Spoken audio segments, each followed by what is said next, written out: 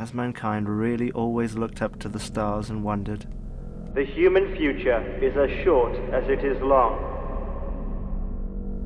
These are days of infancy, still stuck beneath the cover of clouds. That's what they say.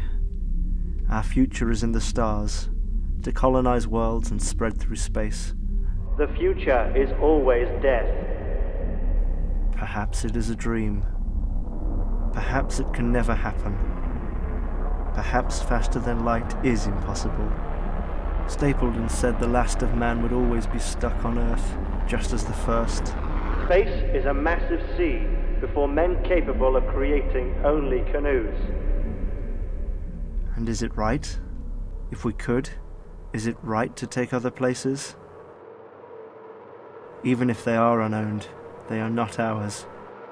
But we have no business anywhere, in the seas or skies, if none in space. If other beings could travel at the speed of light, would we not have encountered them by now? What if we simply surround ourselves with satellites and fill the lands with buildings and roads and people? What if this is all we ever had? We're stuck here, forever.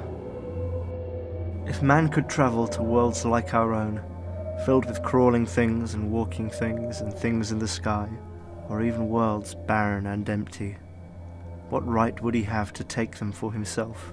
The right to take is the right of the able. Then what will take us? Time